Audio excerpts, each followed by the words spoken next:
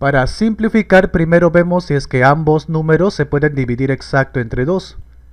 Arriba no termina en cifra par, entonces no se puede. El de arriba ya lo malogro, entonces entre 2 no.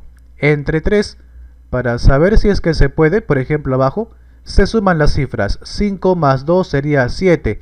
Y como 7 no se puede entre 3, 52 tampoco. El de abajo lo malogró.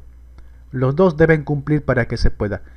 Entre 5 tampoco se puede, por ejemplo, el de arriba, ¿verdad? No saldría exacto. Tampoco entre 7, tampoco entre 11, pero sí entre 13 a cada uno. Arriba 39 entre 13 es a 3 y abajo 52 entre 13 es a 4.